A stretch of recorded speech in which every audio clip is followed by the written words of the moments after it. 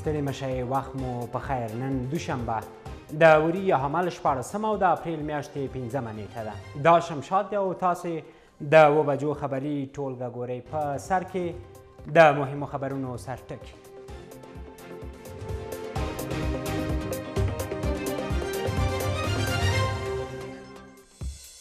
سیاسیون پرې جوړجاړي ته نږدې شوي حکومت د ترکیې کنفرانس لپاره طرحه بشپړه کړې او تر بحث لاندې ده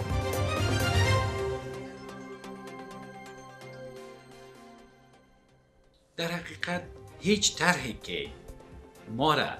به مذاکره اصلی با طالبان نرسانه او طرح به درد ما نمیخوره دفاع وزارت د ځواب لپاره تابیا لري طالبانو د هوایي بریدونو غبرګون کې د سختې جګړې ګواښ کړی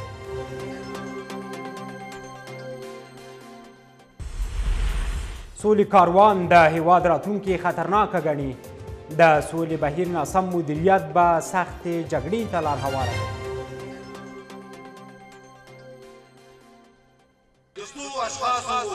لوري جوړې شوې طرحې نشي کولای چې افغانستان له بحرانه وژغوري او د کندهار باغونه د جګړې له امله د وچېدو په حال کې دي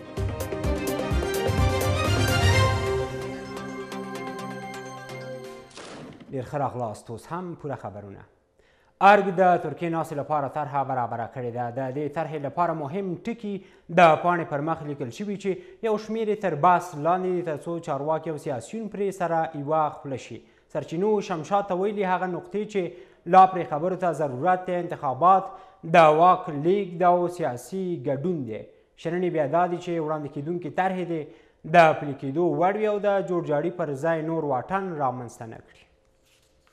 د افغانستان د سیاست محور اوس پر سوله راڅرخي او سیاسیون هم پر سوله مصروف دي چې په راتلونکي کې ځان ځای کړي د افغان دولت تر چتر لاندې سیاسي مشران پر هغو ټکو سره جوړجاړي ته نږدې دي چې د ملګرو ملتونو په منځګړیتوب د استانبول راتلونکې غونډه کې به یې طالبانو ته د لوري په توګه په میز ږدي. د جمهوریت د طرحې مهم ټکي چې سرچینو له شمشاد سره شریک کړي دي. د ولسمشر غني په طرحه کې په اساسي قانون بحث، اوربند، د حکومت راتلونکی سیاسي جوړښت، بشري حقونه، سیاسي ګډون، د فقې عالي شورا،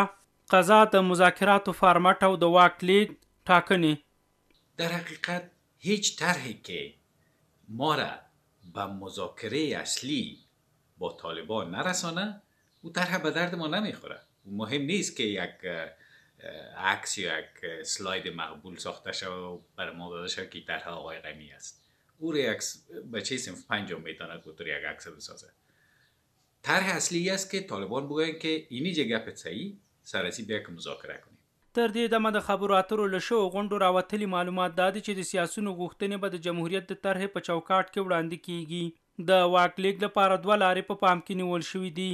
یا به زعامت د ټاکنو او یا هم انتصابي لارې ټاکل کېږي. دا طرحه طالبانو سره د شریکولو لپاره ده خو دا چې طالبان به پرې له دولت سره د مخکې تلو لپاره څه پرېکړه کوي لا د پوښتنې په توګه پاتې ده چې د جواب لپاره کابل او دوحې ته د خلیلزاد تګ راتګ دوام لري. او زه ګومان کوم چې دا یوه عملي طرحه نه ده او له ورا موږ پوهېږو چې دا هېڅ لوري ته تقریبا د منلو نه ده او طالبانو ته خو قطعا نه ده ځکه د ولسمشر غني او د دې د واکمن ټیم اصلي انګېزه دا ده چې دوی باید په قدرت کې پاتې سي یا حد اقل که پاتې کیږي نو د سهم د قدرت 50 په 50 وي د ولسمشر غنی طرحه د وخت څخه د وړاندې ټاکنو طرحه ده د ډاکټر عبد الله طرحه به تر ډیره د امریکا د سولې انتقالي حکومت طرحې ته نږدې وي او نور سیاستوال به هم متفاوتې طرحې ولري په دې خاطر د ترکیې غونډې ته له کابل څخه یو ویشلی پلاوی ورځي چې په طبیعي ډول به د طالبانو پر وړاندې کمزوری وي. د سولې د سیاست دا روان پړاو په کم وخت کې ترتیب شوی دی او د غونډې لپاره لس ورځې وخت هم کم بلل کېږي چې د افغانستان د شخړې اوږدې ناندرۍ به پکې راټولې شي او حل ته ورسېږي. امریکا او ځینو ادرسونو سولې بهیر ته د مسیر ټاکلو د ترکیې ناسې په تړاو هڅې زیاتې کړي د همدې هڅو په دوام زلمی خلیلزاد درې ورځې مخکې په پټ سفر کابل ته راغلی او ولسمشر غني او ډاکټر عبدالله سره یې کتلي دي ارګ او د پخلاینې عالي شورا د دې سفر پخلیا نه کوي خو سرچینې شمشاد ته ویلي چې خلیلزاد ولسمشر غني او عبدالله عبدالله ته یو لیک سپارلی دی خلیلزاد اوس دوحه کې دی او طالبانو د ترکیې ناسې په تړاو ترې یو لړ ضمانتونه غوښتي دي د افغان سولې مبهم بهیر د یو طرفه کېدو لپاره د امریکا او ځینو نورو ادرسونو هڅې تر بل هر وخت زیاتې شوي چې په دې لړ کې پټ سفرونه هم شوي دي. زلمی خلیلزاد د ترکیې ناستې د ترسره کېدو لپاره درې ورځې مخکې په پټ سفر کابل ته راغلی و چې یوازې یې له ولسمشر غني او عبدالله عبدالله سره کتلي دي. ولسمشۍ ماڼۍ او د ملي مصالحې شورا خلیلزاد سره د لیدنو په تړاو رسمي څه نه وايي، او نه هم د دې لیدنې جزیات خپاره شوي، خو شمشاته یوه سرچینه مني چې خلیلزاد ولسمشر غني او عبدالله عبدالله ته یو لیک هم سپارلی دی. سفرهای رسمی و سفرهای شخصی و پنهانی و مخفی آقای خلیلزاد باید گفته شود ماموریت کلانی را که آقای خلیلزاد در ارتباط به مسئله افغانستان داره امی تقاضای از او است که به تمام جناهای افغانی را باید قناعت بده که به کنفرانس با یک آجندای روشن باید اشتراک کنند بنان تماس های شخصی تماس های رسمی تماس های مخفی آقای خلیلزاد میگیره و تلاش هایی را که برای زبوتاش کردن و ناکام ساختن کنفرانس ترکیه در کابل و در دوحه و در پاکستان جریان داره او را میخوای خونسا کنه ټول اړخونه د انقرې ناستې د ترسره کېدو لپاره په خپلو طرحو بوخت دي خو یو لوری هم رسمي نه تاییدوي چې دغه ناسته څه وخت کېږي زلمی خلزات اوس دوحه کې دی او له طالبانو سره په خبرو بوخت دی یوه سرچینه وايي، طالبانو تر اوسه دانقرې ناسته کې د ګډون لپاره تیاری نه دی ښودلی او له مخکې یې د ځینو لویو مسایلو په تړاو د ضمانت غوښتنه کړې ده. طالبان غواړي چې د دوحې هوکړه په ټاکلې نېټه بشپړه عملي شي او دا یې هم غوښتي چې د ترکیې لومړنۍ ناسته باید برخلیک ټاکونکې وي. طالبان تر مې میاشتې د دوحې هوکړې بشپړ عملي کول غواړي، د خپلو ټولو بندیانو خلاصون غواړي، د ټولو بهرنیو ځواکونو وتل غواړي او ټینګار یې په دې دی چې د انقرې لومړنۍ ناسته برخلیک ټاکونکې وي، یعنې په دې ناسته پسې نورې ناستې نه مني. امریکا داسې مهال خپلې هڅې ګړندۍ کړې چې د دوحې هوکړې د عمل مودې لپاره لږ تر لږه دوه میاشتې وخت پاتې دی. دې خنډونو د لرې کولو لپاره امریکا د سیمې د هېوادونو او دارنګه په کور دننه د سیاسي کړیو سره خپلې خبرې چټکې کړې دي، هلې ځلې زیاتې شوې دي تر څو ژر تر ژره په ترکیه کې بین الافغاني ناسته ترسره شي. ټاکل شوې چې خلیلزاد او د ملګرو ملتونو استازي بیا ځلي افغانستان او د سیمې یو شمېر هېوادونو ته سفرونه وکړي. که د سولې بهیر سم مدیریت نشي هیواد کې به یوې بلې جګړې ته لار هواره شي د سولې کاروان د ترکیې غونډې لپاره جوړې شوې بېلابېلې طرحې ملي او ګټورې نه بولي او په یوه واحده طرحه ټینګار کوي د دې کاروان مشر په یوه ولسي غونډه کې خبرداري ورکړ که روانه پروسه مدیریت نشي او طرحو کې د ولس غوښتنې ونه منل شي بدې پایلې به ولري د ختیځ په کچه دغه زرګونه مشران او ځوانان د ظاهر قدیر په مشرۍ د سولې کاروان په دفتر کې راټول شوي دي ختیځوال نیوکه کوي چې په ټولو لوی او ملي مسایلو کې ورسره مشوره نه کیږي دوی د ترکیې غونډې لپاره جوړې شوې یا جوړیدونکې طرحې ځکه نیمګړي بولي چې پر وینا ملي او ولسي نه دي د وروستیو طرحو کې ولسي خلک خپله بقا نه ویني او یوازې د څو اشخاصو له لوري جوړې شوې طرحې نه شي کولای چې افغانستان له بحرانه وژغوري. په کار ده چې د افغان دولت او سیاسي احزابو له لورې جوړو شویو طرحو کې د ولسي وګړو حقیقي نظر ته ځای ورکړل شي. ده د هغو طرحو سره مخالفت وکړ چې پر وینا یې ولسي نه دي او یا هم ولس پکې له پامه غورځېدلی. ظاهر قدیر د ترکیې ناسته مهمه بولي، خو اندېښنه یې دا ده که ښه مدیریت نه شي، لا خطرناکه او اوږده جګړه به پیل شي. ظاهر قدیر وايي، کولی شي د سولې په خبرو کې منځګړیتوب وکړي او اغېزمنې او بریالۍ د سولې خبرې راپیل کړي. ختیځ د سولې کور دی او تل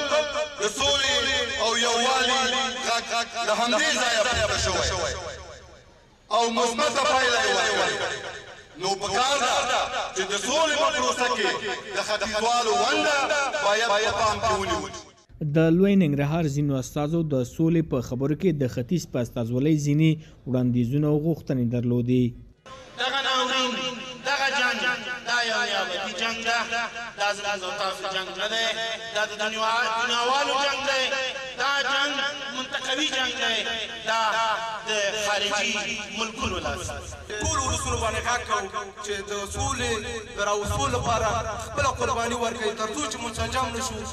تر څو چې په یو غږ یو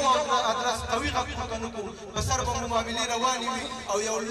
لوی بل بحران ته به ننوځو. شاوخوا لس ورځې وروسته به په ترکیه کې د افغان سولې په تړاو غونډه جوړه شي چې بېلابېلو اړخونو ورته خپلې طرحې جوړې کړې دي. له لومړي سره اندېښنه دا ده چې د ډېرو طرحو وړاندې کول به سوله له خنډ و ځنډ سره مخ کړي. دغې غونډې ته هیله شته چې روانې جګړې ته به سوله ییز حل لار ولټوي. شکیل احمد سید. شمشاد نیوز، ننګرهار. ملي دفاع وزارت د طالبانو پروني هغه ګواښ ته سوړ غبرګون ښودلی که هوایي بریدونه ونه درول شي جګړې ته به شدت ورکړي د طالبانو خبرداري په اړه شننې دا دي چې دا ډول کړنې د سولې او جوړجاړي روانه پروسه زیانمنوي او د جګړې لوري باید دا مهال خپلو بریدونو ته شدت ورنکړي وروسته له هغې چې هوایي ځواکونو په کندهار او یو شمېر نورو ولایتونو کې طالبان په نښه کړل دغې ډلې هم د سختې جګړې پیلولو خبرداری ورکړی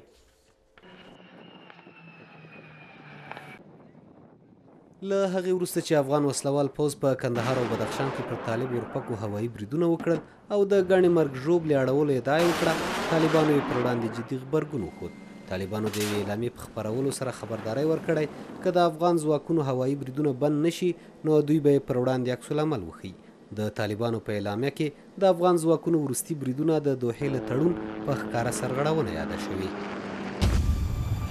په بدخشان، کندهار، خوست او هلمند کې حکومت هوایي بریدونه پیل کړي، چې دا کار له امریکا سره د طالبانو له هوکړې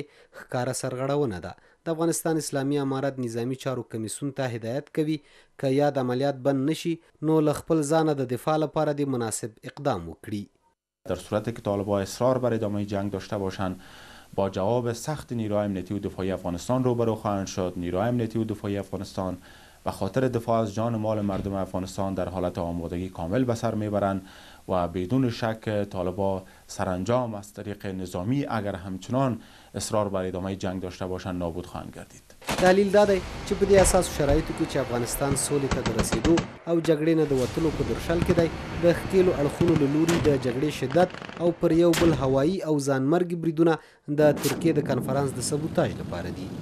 تاسو د صلحې د راتلو لپاره د فعلا لپاره د جګړې کچه،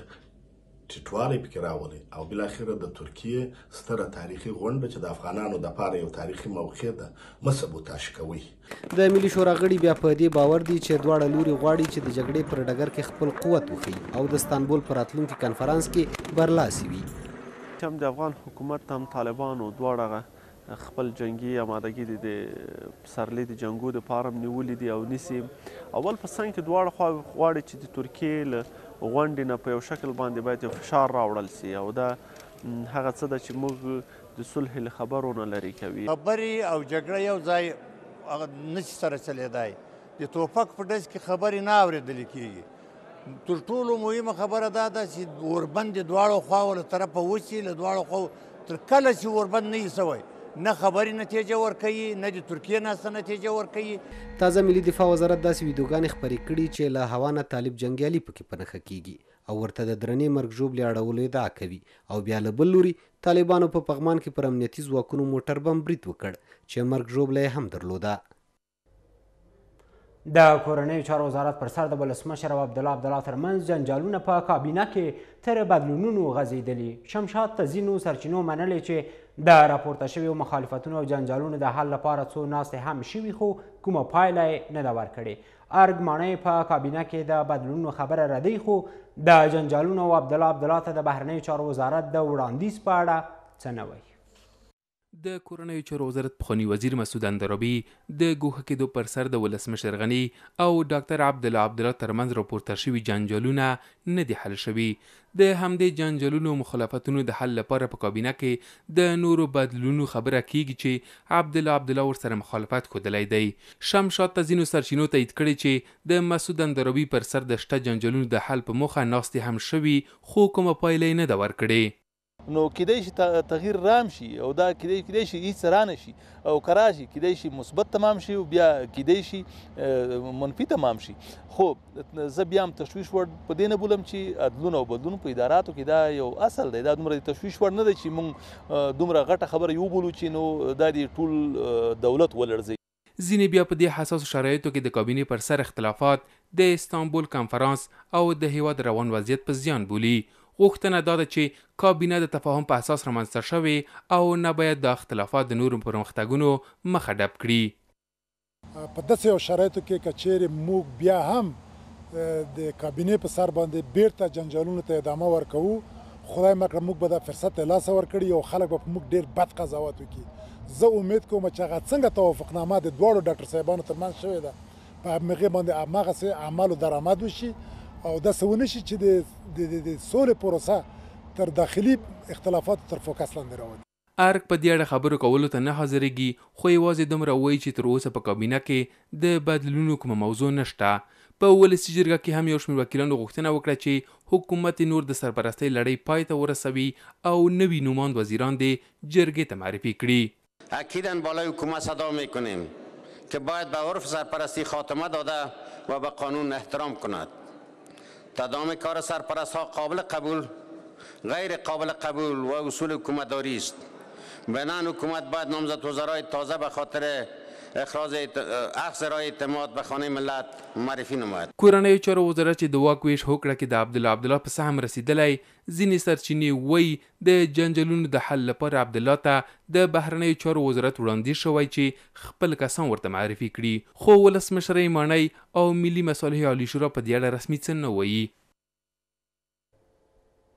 نړیواله ټولنه نشي کولی د سولې پروسه کې د ښځو حقونه خوندي او ملاتړ یې وکړي. د څلور دېرشو ولایتونو ښځو په یوه غونډه کې وویل د هغې طرحې او سولې مخالف دي چې حقونه او لاسته راوړنې پکې خوندي نه وي. په همدې حال کې د جمهوریت مذاکراتي ټیم غړو ویلي نړیواله ټولنه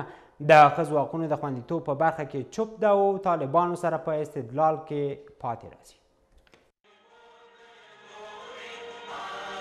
د سولې خبرو پیل سره مهال افغان ښځو سره د خپل راتلونکي حقوقو او لاسته راوړنو په اړه اندېښنې پیدا شوې چې د خوندیتوب برخه کې یې ټولې تمې نړیوالې ټولنې او د امریکا هڅو ته دي د جمهوریت مذاکراتي ټیم غړي وايي، ښځې دې د خپلو حقونو د خوندیتوب په برخه کې په امریکا او نړیواله ټولنه اتکا نه کوي او پر طالبانو د خپل غږ اورېدو لپاره دې لوی خوځښت رامنځته کړي. این جهان از شما حمایت جدی نمیتواند این به یقین بدانید پس راه حل چه است راه حل این است که شما از این اتاقهای محدود بیرون بیایید این اتاقهای محدود مشکل شما را حل نمیکند. د سولې په تړاو د استانبول کنفرانس چې ټاکل شوی د اپریل په شپاړسمه نېټه ترسره شي، د مصالحې عالي شورا غړي وايي، په دې ناسته کې دې پر اوربند، د بشري حقونو پر خوندیتوب او د نظام پر څرنګوالي جدي بحثونه وشي. ممکن است مسایل حقوق بشر در اولویت قرار نگیره برای افراد به طب که کمایی قدرت به طب که سهمشان در در حکومت آینده برای از اونا اولویت داره و یکی از نگرانی های جدی است. دلته له څلور دېرشو ولایتونو راغلي ښځې وايي، هغه طرحه ورته د منلو نه ده چې د امریکا له لورې وړاندې شوې ده.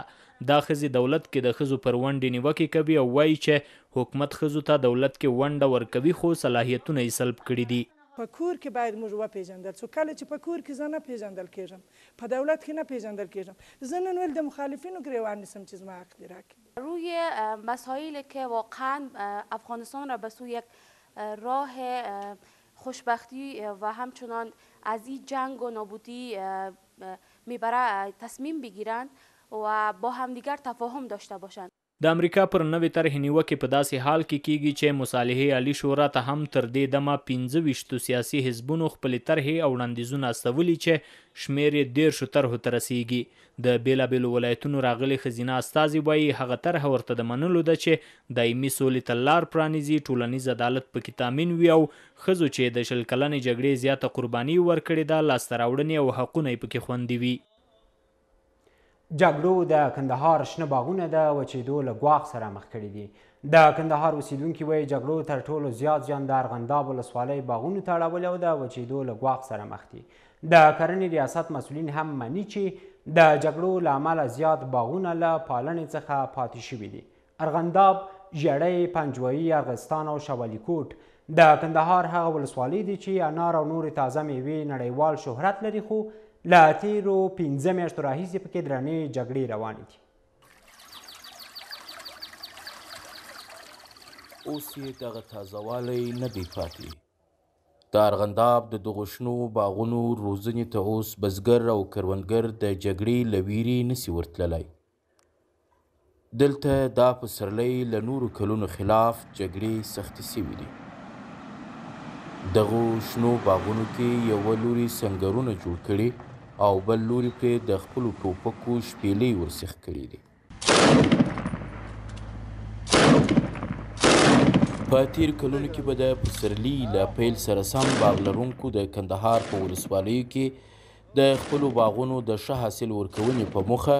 په باغونو کې کارونه کول خو کروندګر وایي سږکال د ځمکنیو ماینونو، هوایي بریدونو او مخامخ جګړې له ګواښه خپلو باغونو ته نشي ورتللی چې له همدې امله یې اوس باغونه له وچېدو سره مخ شوي دي.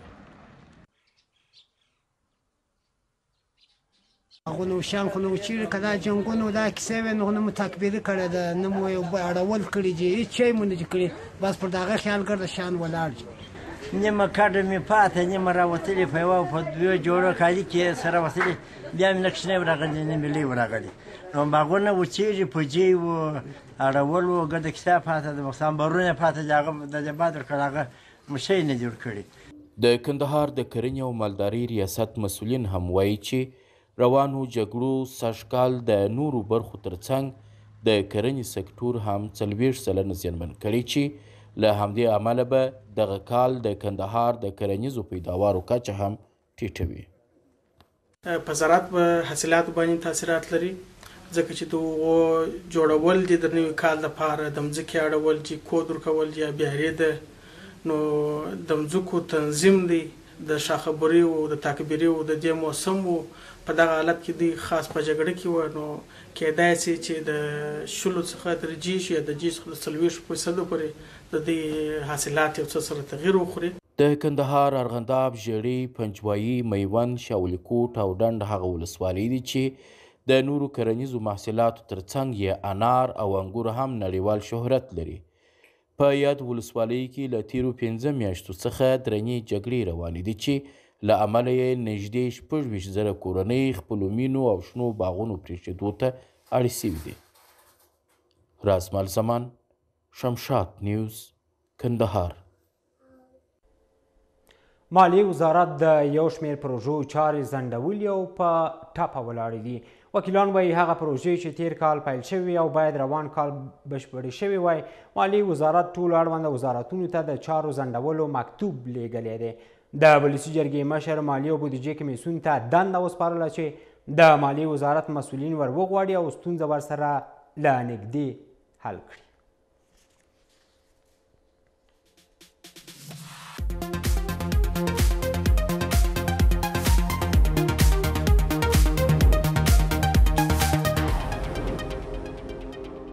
او د سپورت له ډګره همدا چې د افغانستان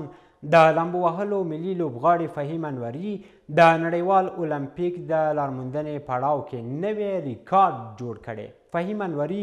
د روسیې د لامبو وهلو ملي سیالیو کې پر شاتګ او سینه تګ لامبو وهلو دواو فارمټونو کې 50 متره واټن په چټکۍ سره وواهه فهیم انوري د روسیې په کازان کې د شپږو میاشتو لپاره د سیالیو لپاره قرنطین شوی چې د جاپان په کوربتوب نړیوال المپیک کې ګډون وکړي د المپیک نړیوالې سیالۍ د کرونا له کبله له تیر کال راهیسې ځنډېدلي او اوس ټاکل شوې چې د روان کال په جولای کې ترسره شي. کمپ تمرینی انتخاب شدیم و تمرینات ما ادامه داره جهت آمادگی بیشتر بر مسابقات المپیک و تحت نظر مربیای جهانی او تر لږ ځان وروسته مو بیا هم ملتیا وکړئ